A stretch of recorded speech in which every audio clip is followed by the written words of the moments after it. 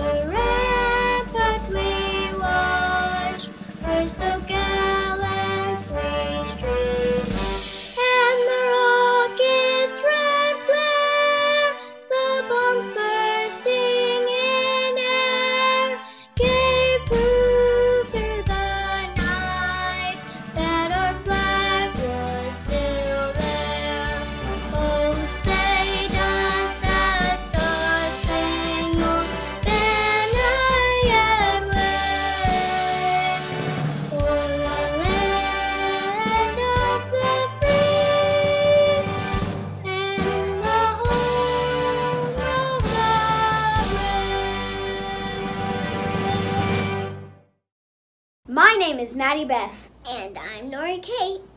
Welcome to a lesson in Sistery History.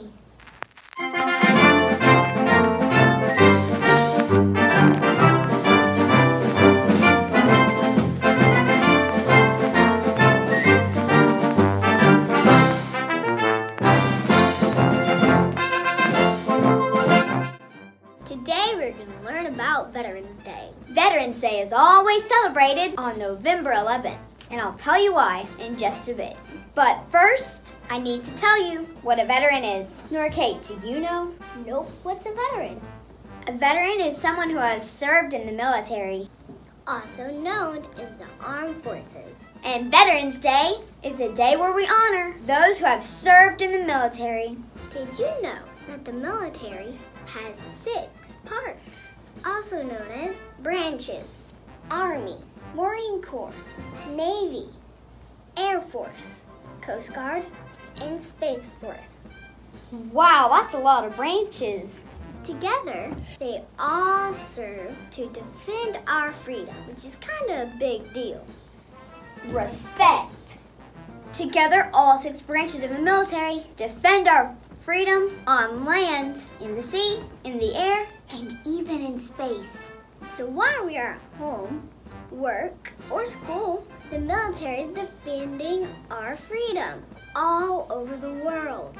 If you meet a veteran, ask them what branch they served in. And then tell them they're awesome. The reason we celebrate Veterans Day on November 11th because that is the day that World War I ended in 1918. At 11 o'clock on the 11th day in the 11th month, an armistice was signed to end the war. Wait, what's an armistice? An armistice is an agreement between two opposing sides that ends a war. Oh, well, everyone was so glad that the war was over that the next year, in 1919, the U.S. declared November 11 as Armistice Day to celebrate the ending of the war. it was called Armistice Day every year till 1954.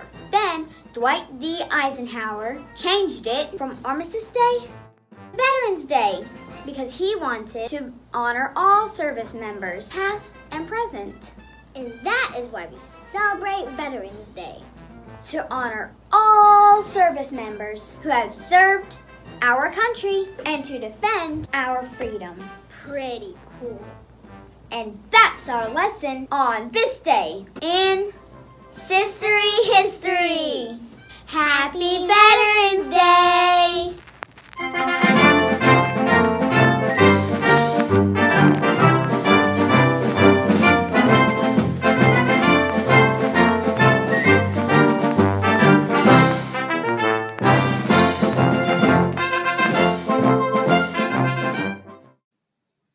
Going to get ready to listen to a group of chorus students sing the song You Are Our Heroes.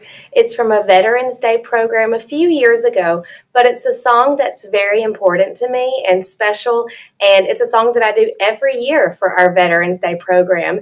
And I was kind of sad that I wasn't going to get to do it with a group this year, but I had the idea that I could just teach this song to all of you and then we could still perform it together. So you're going to help me out with the sign language. We use sign language as a way that you can communicate using your hands, your facial expressions, and even your body. Most of the time, sign language is used for people who are deaf and are not able to hear well. But sign language is also used in music sometimes because it's extremely powerful and it's a way to show some expression and it's just a different way to interpret the music. So I'll show you some, uh, one part of the song and then you will do it with me. All right, so to begin with, you're going to take your finger. We're singing, uh, We can say, so for we, you're just bringing your hand around in a circle, can say, your finger by your mouth, and then it's your whole hand. Thank you. All right, let's try that together. Ready? We can say thank you. Now you're going to switch hands and do the same thing with the other hand. Oh, we can say thank you. And now switch back. Thank you. Perfect. All right, the next thing you're going to, actually, let's no, we're good. We'll keep going. All right. We know God blesses you. So we have, we know God blesses. Okay, that was a lot. So hold on. We know God. You just bring your hand down in front of your face. For blesses, you start with two fists and then you bring them out and away. Okay? Blesses. And then you you just kind of scoop your finger up, okay? You. We know God blesses you. Awesome. All right, let's try that from the beginning. Ready? We can say thank you. Here we go. We can say thank you. Switch hands. Oh, we can say thank you. Thank you. Good. Keep going. We know God blesses you. Very nice. All right, so for this next part, your hands are up in front of you like this. For all you did and do, for all you did and do, your hand's going to go around and then right back to where it started. For all you did and do. Okay? For all you did and do. All right, and then I'll show you this next little part because it goes a little faster here. There's a little more you have to do. We see your light shine through. So you're going, we see your light shine through. Okay, let's try all of that. You're almost there. We've almost done the whole chorus. Here we go. We can say thank you. Oh, switch hands. We can say thank you, thank you. We know God blesses you for all you did and do. We see your light shine through Awesome job, guys. All right, let's try this next part. And we, we have a lot of we's in this, don't we? And we are all blessed. So you're doing this blessed again. Two. And so for two, your fingers are together, and then you switch and go to the other side. So, and we are all blessed too. And then to end it, you just say this You are our heroes. So for heroes, you've got two fingers up. He rose. Okay? You are our heroes.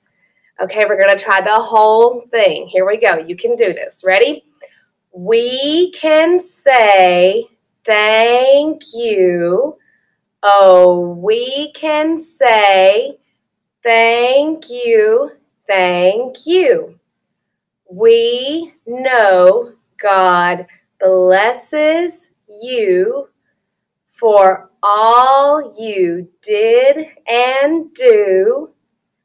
We see your light shine through, and we are all blessed too. You are our heroes. Great job. All right. And then at the very end, we say, You are our heroes three times total. And then the very last thing we do is we say, Thank you. Because, because of course, we definitely want to thank our veterans for their service to our country. All right, friends, we're going to get ready to try it with the chorus singing now. So we'll just uh, sit quietly during the verses, and then when it's time for the chorus, it'll be a little faster, but you're going to try to perform it with me.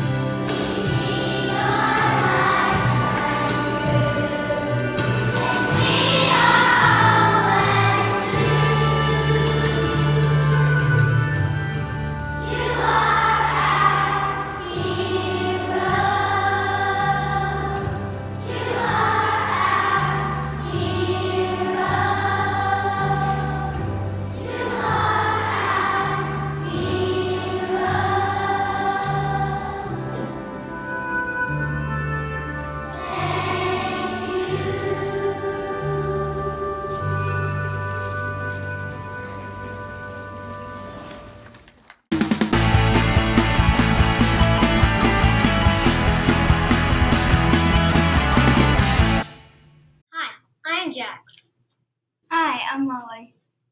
And I'm Mr. Swan. Mr. Swan, what branch of the military did you serve in? I served in the United States Army.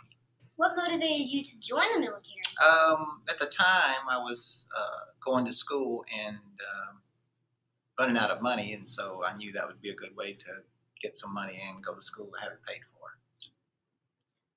Tell us a little about your time in boot camp. Uh, in boot camp, uh, my boot camp was at Fort Knox, Kentucky. Uh, I went there during the summer. Um, it was pretty hot, but uh, it was actually it was a lot of fun. A lot of people hated it, but uh, I found it after about the second week. I got to thinking that it was a lot of fun, and I pretty much enjoyed it. We did a lot of things that I probably never would have done just on my own. So. What was your primary job after training? Uh, I served with the 122nd ARCOM out of Birmingham, Alabama. I was a part of a chemical company, an attachment, uh, nuclear, biological, uh, chemical warfare. So I specialize in chemical warfare. Can you tell us a little bit more about NBC?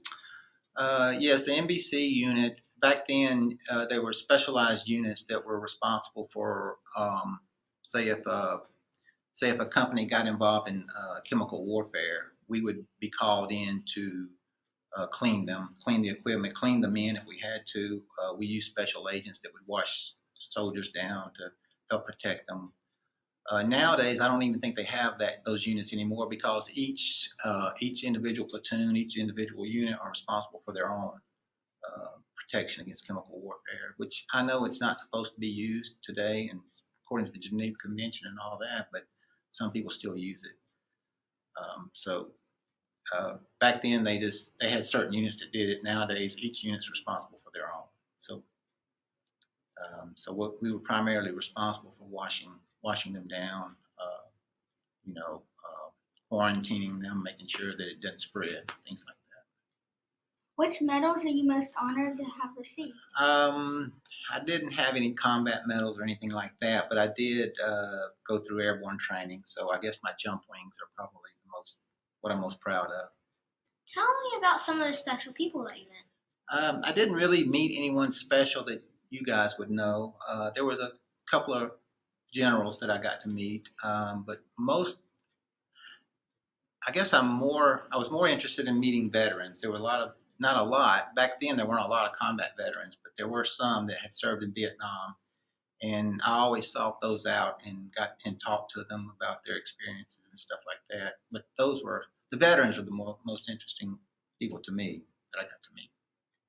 Tell us a funny story that could only happen in the military.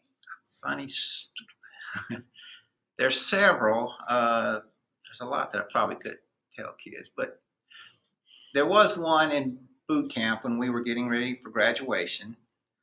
Um, we had uh, marched to the ceremonial field, the parade fields that day. Or we were kind of standing in line, getting ready for our graduation that day, and uh, we're standing at attention, and uh, we're all standing there, you know, very solemn, very quiet, and uh, there was a evidently there was a bumblebee that kind of got in the face of one of the soldiers there, and he swatted at it a couple of times. But when he did, the sergeant, the platoon sergeant, called him and immediately called him out and went over there and kind of jumped on him. And he said, Well, Sergeant, there was a bumblebee in my face. And the sergeant looked around and said, I don't see a bumblebee. Where's the bumblebee? And he said, Well, I don't know where he is now. So the sergeant made him fall out and he had to go over to the field and find the bumblebee that was bothering him. And so when I, out of the corner of my eye, I was watching him and he was out there in this field looking around for a bumblebee. And so there were several of us that started giggling. When we giggled, we got in trouble too. So we had to go help him find the bumblebee. And uh, and so while we're out there walking around in this field looking for a bumblebee, there's these civilian, civilians came and they were going to watch the ceremony. Well, they thought we were really looking for something important, so they fought, they came over there with us and started helping us look. And they were asking, "What are y'all looking for?" And we were saying, "There's a bumblebee." and they're like, a bumblebee? And we're like, yes, we're looking for bumblebees. They said, well, is it a special kind of bumblebee? We're like, no. But we really couldn't talk. So they finally figured out we were in trouble. So they left and went got in the stands. And uh, finally, when it was t- our time to go on the parade field, uh, our sergeant called us back over there. But uh, that was because we weren't supposed to laugh. So we, that made us even laugh more. So stuff like that happens. Did you ever find the bumblebee? Uh, no, we never found a bumblebee. I don't. I mean, I'm sure there was a bumblebee because it happens a lot. You get flies and stuff will get in your face, and you have to be real still. But uh, yeah, after that, we never did find a bumblebee. How does your military experience affect your life today?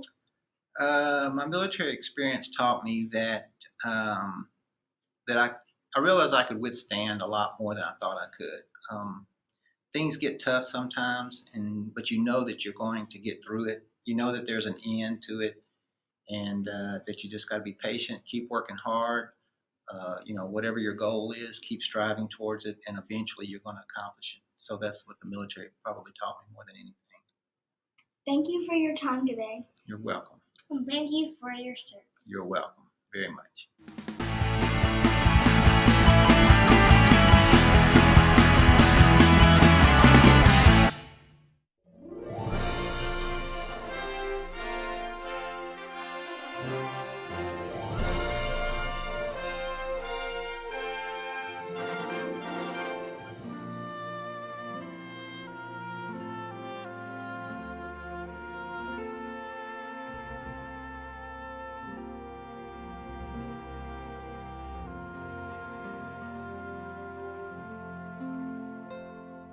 God.